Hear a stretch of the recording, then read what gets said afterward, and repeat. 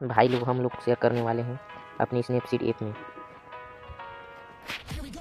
Snapseed में आने के बाद टूल्स में आएँगे ट्यून इमेज में आएँगे ट्यून इमेज में ब्राइटनेस को इतना करेंगे रेस्ट्रेशन को इतना, इसको भी इतना बढ़ा लेंगे शैडो को इतना बढ़ाएँगे टर्न करेंगे, इसको भी सेलेक्ट व्यू में आएँगे ब्राइटनेस को इतना बढ़ाएँगे इतना अपने फेस पर काला काला होगा, उसमें इस तरह से वाइट कर लेना है।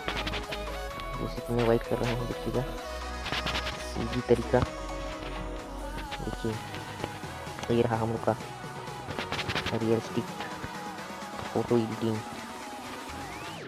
मेरे कलर थोड़ा सा काला है वाइट कर लेते हैं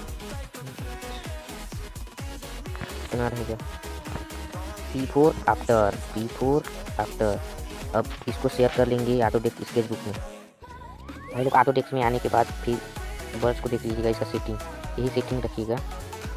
इस तरह से छोटा बड़ा कर कर अपने फेस पर चला लेना है, इस तरह से। इस तरह से चला रहा हूँ, ऐसे अपने फ़ोटो के हिसाब से आप लोग भी चला लेना, इस तरह से।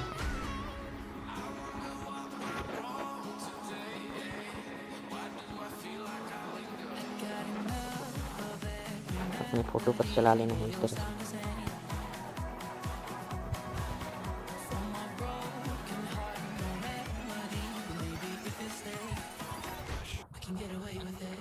इसी तरह से चला लेना। थोड़ा वीडियो लंबा हो जा रहा है। जल्दी जल्दी बना लेता हूँ। स्मूथ करने के बाद फिर ले जाना है लाइट रूम में। लाइट रूम में आने के बाद ऑटो को कर लेना है। क्लिक ऑटो को क्लिक करने के बाद हाईलाइट को इतना कम करना है। साइडो को इतना इंक्रीज करना है। वाइट को थोड़ा इतना कर लेना है।